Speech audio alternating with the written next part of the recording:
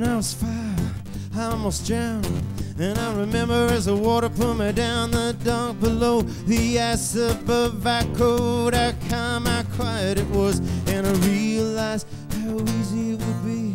Death was something that could happen to me. And as I stumbled home, newly informed, I walked into the future warm. Song says, when I was five, I almost drowned. It's really when I was four. Loveless how death seeps in like a slow, steady hemorrhage. Suffering from conformity. Saw death in the that was expected of me. Wasn't any stronger, just more scared. Wasn't any smarter, just a little more aware. Oh, what is around the corner?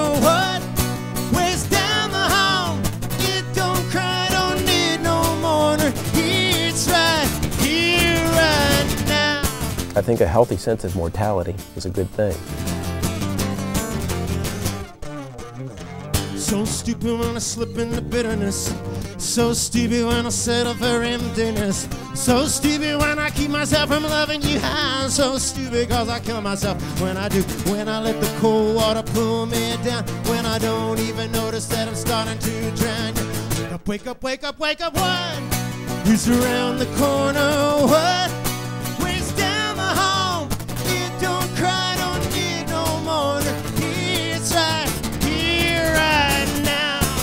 I think a healthy sense of mortality, you know, helps you not uh, waste, your, waste your life.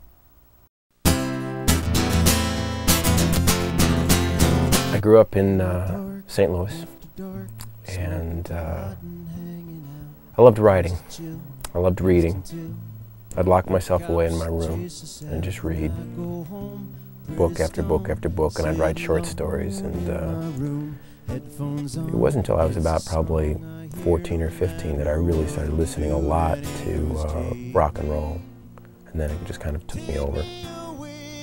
So I decided I'd start writing songs, and the whole troubadour thing. You know, you get to play 'em for an audience, you know, and uh, get approval. In the park, my friend Mark holds his father's five iron high, waiting for a thunderstorm that gathers in the sky. I lose my nerves, so I observe a safe distance away. Lightning crashes, nothing happens, we survive another day. And a lot of my music deals with uh, darker things, but sort of hopefully coming through those darker things to a better place. He would come along, he was big and strong. Grabbed me by the throat, he had a really bad temper. Must be bad, I must be guilty for my dad. Don't wanna come in. What's important is whether it's honest and true. Pages turn, time goes on. Now I'm older, I write songs, some of them about my father and me. My mom says if I tell, it will kill my dad as well, and his death will be my responsibility. I'm still bad, I'm still guilty, cause my dad wanted to kill. I don't think when you deal as honestly as you can with something that it's it's ever negative. Past my guarded walls, down my long dark halls, there's a big locked door, but you have the key. But you have the key. Went to uh, the University of Missouri, and then I uh, headed off uh, for a year to Chicago, trying to figure out whether to go to LA or New York.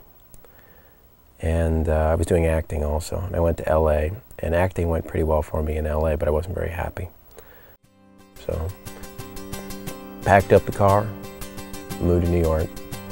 I'll give no confession of this long slide, this procession of events too damn dull to recount. From the youthful and quick to the useless old prick whose back rent is all he can amount. Uh, you know, I'd always had this dream ever since I was about 15 or 16 of getting to see this guy at, um, who was a real famous talent scout at CBS Records, John Hammond. And he'd signed people all the way back from Billie Holiday and Benny Goodman and Count Basie all the way up through Dylan and Springsteen and Stevie Ray Vaughan. I had just started working at a restaurant in downtown uh, Manhattan in the village, and a guy came in reading John Hammond's autobiography, and I said, "Are you interested in John Hammond?" And he said, well, my name's Lincoln Clapp, and I'm an engineer. I, I work with John Hammond. We just did a, uh, I did the Steve Ray Vaughan albums, you know, with him and stuff. And so Lincoln gave me the number and said, you know, but he's got this secretary who's, you know, you got to get past her, and they also screen a lot of calls and stuff. And so I called, and she happened to be out of town, and he picked up the phone, and we we really hit it off on the phone. And so I came in. Uh, using the pretense that I was a big fan of his and I wanted him to sign his autobiography for me. And then I said, you know, well, you know, Mr. Hammond, it had always been my, I am a songwriter, and, it had always been my dream that you'd hear my music. And he goes, well, I figured that. You know, why don't you just uh, come by Friday? And I said, well, you'd like me to drop off a tape? And he goes, no, no, just bring your axe. So I, I brought my guitar and uh, played two songs. And, then he like stopped me and asked me a couple questions, said, play one more. And then I, at the end of like three songs, he just stood up behind his desk, started making phone calls and saying, I found the, the best new songwriter I've heard in years. We must do a record deal immediately. It was like out of a like a Busby Berkeley musical or something, you know. It was like it was goofy.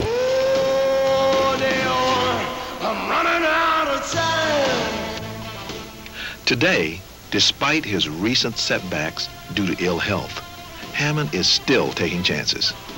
Not many people know Ned Massey, but he's about to make his national debut.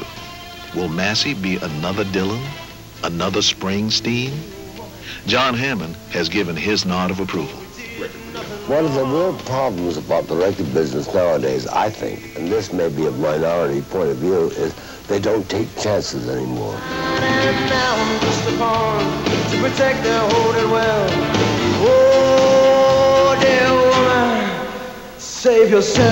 Mr. Hammond just wanted to do an album that would be basically solo acoustic, you know, very sparse. Didn't want it, and wanted to hook me up eventually with like a good guitar player or something, but to play for a, a while and let the sound that I would do evolve. He didn't want to force anything on it. If I knew something about opera, I would sing you an aria.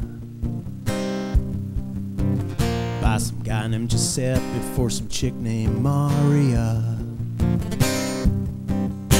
But I know nothing about that, so let's just settle for this. It's the best I can do to go along with this. Kiss on your lips, coming straight from my heart. With a love so fine, it can only be described as art. I call it art. And uh, we were in studio one day, and uh, he had this massive stroke, and the head of A&R effectively killed the contract.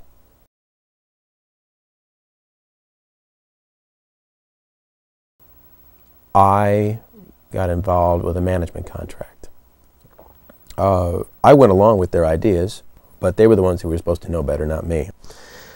And instead of what Mr. Hammond wanted to do, which was essentially me being a solo acoustic artist and slowly build the music around me, these guys put a big band around me, threw me in the studio, and we did a big showcase, and it was all a big disaster. And I was downright bad, and it just didn't work. So uh, all the labels just kind of went, well, you know what? We don't hear it. So uh, then this management company had this big meeting, and there was like a semicircle of like about eight people around me, investors and management people and stuff. And one person said something like, well, you know, we need to focus here. And another person goes, yeah, we, we hear you being sort of like Paul Simon. I know you think I'm a crazy old bitch. I know you're awake, where I'd feel you twitch. You see, no one knows you less. No one knows you better than the woman to whom we swore forever. And then another person said, yeah, but we also hear you kind of being like Bon Jovi. Don't look to me if you're looking for perfection. No, baby, I can hold that erection. I'm no monster, I'm no saint, no single person you can paint. And then another person, this is absolutely true, another person said, well, you know, yeah, it's like kind of like a cross between Paul Simon and Bon Jovi. These are all the pertinent details. These are all my messages to me. You know what? This is sounding terrible. Uh, I um, right then just said, you know what? I've really gotten myself into a mess here. Things people have said things people have done.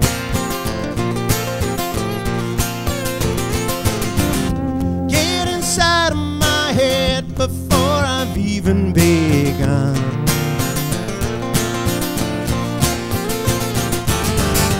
Makes me mad that I've wasted time letting their stories mess with mine. Yeah, these are all the pertinent details. These are all my messages to me. Here it is, the garbage and the grit. It's a mess, but it's making sense to me. So uh, I wanted out of my contract, and they wouldn't let me out of my management contract. So I had to sit out for about a, I think it was a year and a half, and not do anything with my music.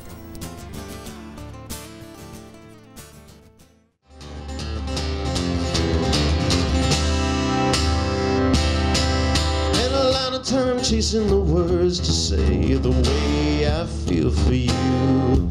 So from better or worse, I hope these few will do when I say I love you. Yes, I.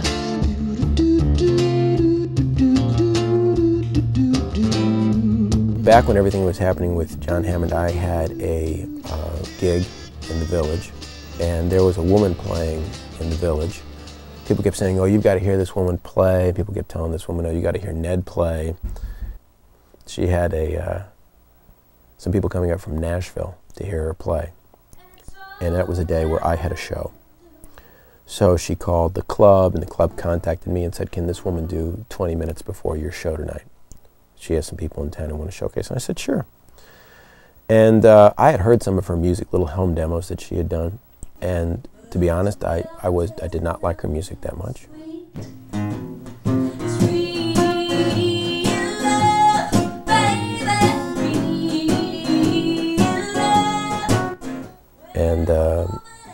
Name was Terry Radigan. And she got off stage and came over and she asked me about the tape, and I very arrogantly and stupidly said something about you know the the reverb on her drum sounds or some kind of some kind of stupid comment that really wasn't applicable to a home recording situation. And pretty much made an ass out of myself. And she thought I was an ass. And um, so that was back around the time I was working with John Hammond. And then about uh, four or five years later, Terry called me saying, I asked this woman for a recommendation for a voice coach. She said I should talk to you. And I said, why don't we get, to, get together for lunch? This was the woman who thought I was an ass and whose music I didn't like. So we got together for lunch and hit it off. And um, then um, we started dating. And after a week of dating, I said, you know, I, I remember very vividly saying, you know, wow, this is really weird. This is like uh, this is like a person I think I could marry. Hundred million molecules scattered out in space across a hundred million miles together in one place. And from the day that we were born, they were leading to a kiss. So tell me what the chances are of this. Yeah, we are inescapably, inextricably intertwined, caught up in the mystery. Someone explain to me how everything could be a hundred million accidents happening so perfectly. It just happened to be you and me. Uh, I'd never thought in my life that I was going Hundred million memories. to date, much less live with a songwriter. we really own. Now I can't imagine being with anyone other than Terry. We're just really together yet alone. good with each other's music.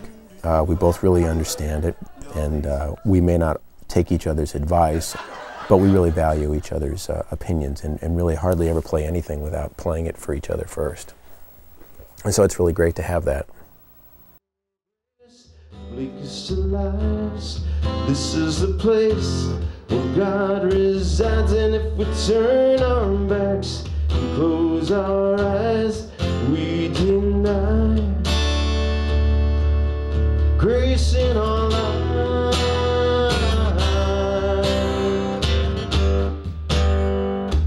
There were people at labels who liked my music, who wanted me to keep recording, um, so they would give me development deals. And you know, at one one the guy left the label, another one, uh, another guy gave me a development deal. When he gave it to me, he said, "I just want to see you keep recording. I can't sign you because I just signed another, you know, male singer-songwriter, so I can't sign." You know, it was that kind of thing. And I knew what was happening was I was getting obsessed in a bad way couldn't get uh, couldn't get the record deal, the record deal, you know, and uh, I was sort of becoming obsessed by it all, getting a record deal, and uh, becoming kind of an unhappy person. It's only a panic attack. Na na na, panic. Na na na, panic. Na na na, panic attack.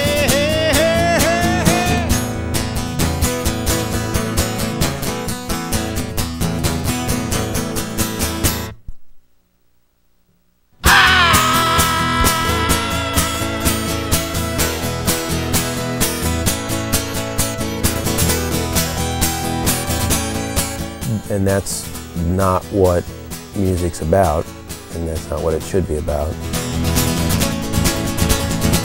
For a while in New York, I was living in a little hellhole studio that was in an artist building in Soho, and mine was a little tiny room that I inhabited with about 3,000 huge water bugs who didn't pay any rent and uh, there was only one window in the room and it looked out on the interior shaft of a building. So I never got any direct sunlight. And it was an overcast day and uh, Sunday, and I got the idea for Patrick O'Doherty and uh, started writing it probably at around 9 o'clock, 10 o'clock in the morning and finished, I think, at 6 or 7 and just had no idea that the time had passed.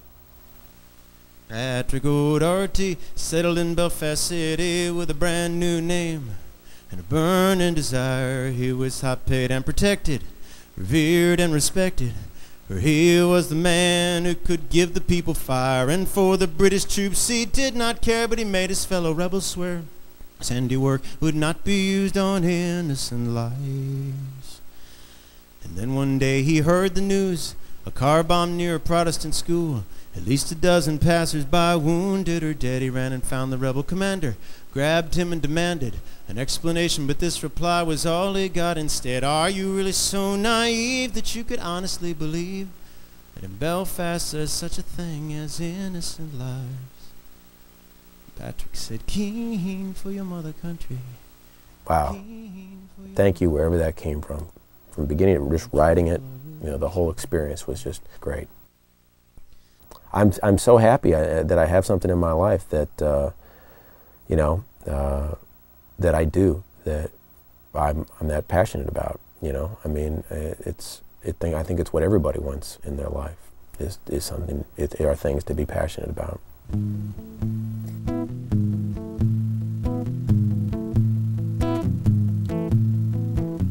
I'm smarter than that. I'm on the joke, I see through the smoke. Terry had stuff happening for her in Nashville. She had an opportunity to make an album through a publisher she was working with.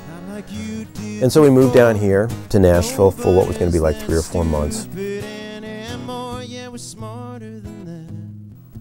Her publisher was dropped as a division of MCA Publishing, so then the album wasn't recorded. And then we decided just to stay down here. Uh, there was, I, I, just, at that point, I was just tired of New York. And I was tired of um, just everything that was going on. Wish I wasn't so smart. Wish that I could lead with my heart right on my sleeve. I wish that I still believe. And I was working as a, a waiter, and the places where you can make money as a waiter were places that were uh, frequented by music industry people, and uh, who all knew who Terry was, and many of uh, those same people knew uh, knew me through Terry, and uh, but, but didn't. Ninety nine percent of them didn't know me as a songwriter. They just knew of me as Terry's boyfriend. And so here's this artist they all love, Terry Radigan, and her waiter boyfriend. I am ambiance.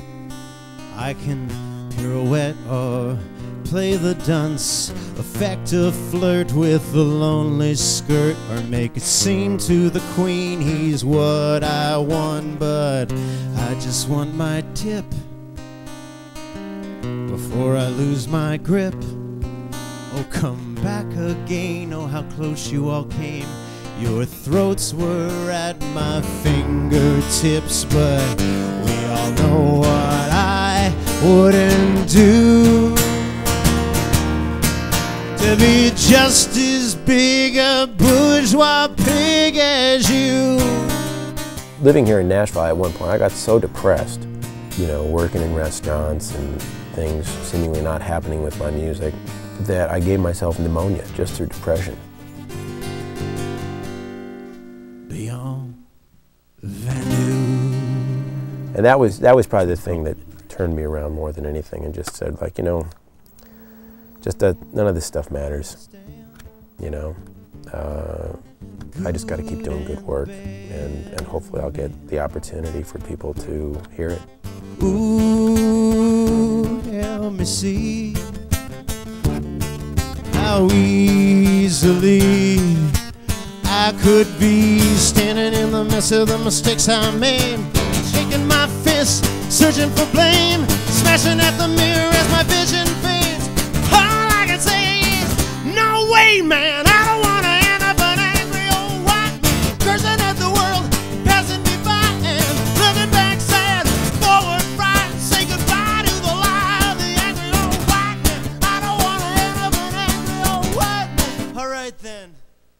Like when the story of who you are becomes who you are. You know, I was the guy who almost got the record deal, had all the fame and everything, and then and I found myself just starting to like be that story. You know, first you speak, then you learn to spell, finally you get your own story to tell. Talking about John Hammond, you know, it's a it's a it's a great story, but that's not what I should make my music about.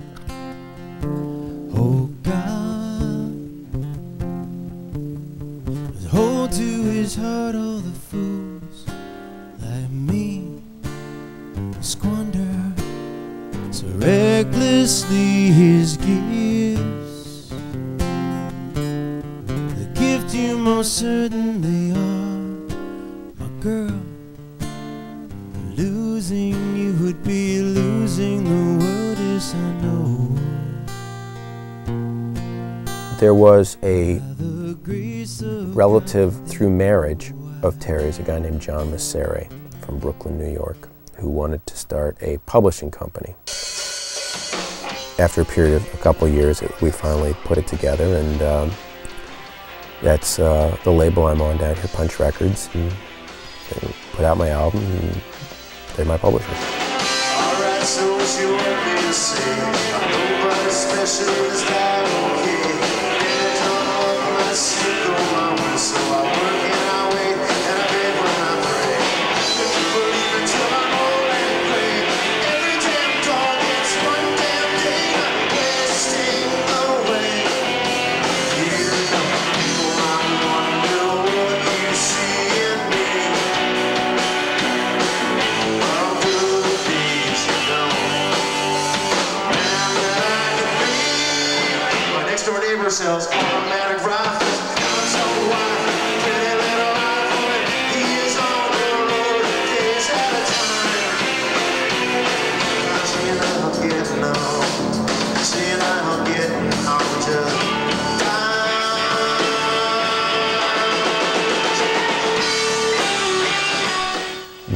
This uh, album on a pretty small budget, and uh, there are a few tracks on here where I am just about absolutely perfectly happy with how they came out. The easy thing for me to say at this point would be, oh, it, yeah, it's all happened for the best and everything. Uh, you know, a year from now, if my album hasn't done well and maybe Punch Records isn't around anymore and I might not have any immediate opportunities for my music, you know, something like that would happen you know, well then what do you say? You know, oh yeah, this has all been for the best. You know, I don't know if it's been for the best or not for the best. It's just been how it's been. So you just have to love it for what it is, and and and try not to ascribe too many positive or, or negatives to it because then it's a trap I think you can fall into. It's just what is. So you just have to like be happy with it and and not not get caught up too much in that story. Seems like everything I have. Seems like everything I need. Seems to slip right through my hands. Seems to slip away from me when it seems I'm getting closer. Ends up all I really know Is one more day I've gotten older. To learning to let go. I am learning to let go. I am learning to let go. I am learning. I am learning Least right here, right now. At least I get to hold you tight. And if that's all I'm allowed, maybe that's alright.